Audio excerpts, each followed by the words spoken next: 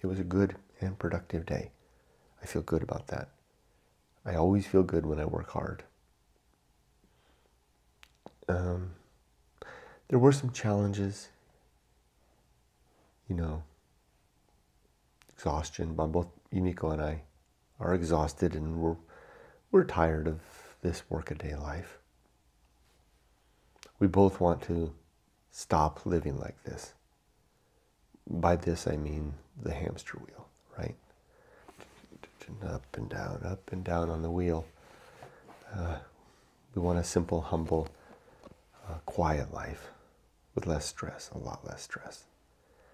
Now we've aimed, we've made our plans and we're aiming towards it. We've picked a date. It, it, it hard, it's hard to say the date. I want to say it. It's, it's December 16th, 2024. It's hard to say because so much is wrapped up in that. It's like, it feels like a, a when spoken aloud, it feels like St. Voldemort, right? Like, like what could happen that could get in the way? You know, and there are things that could happen that could inhibit that date, but uh, the worst that could happen is that we have to push it back. I mean, the best that could happen is that we make it real. So we'll work to make it real. Mm.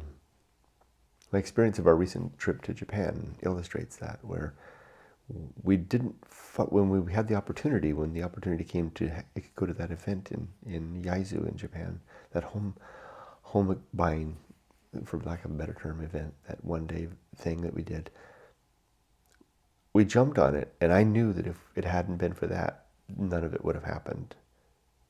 It was the catalyst that drove the the whole trip, and which was certainly the best vacation and experience that Yumiko and I have ever had together. And it was all driven by a decision. And I'm hoping to, to build upon that now and drive our next step, our retirement to by, by a decision, by picking a date. And we have 20 months to make it happen. I marked it on the calendar.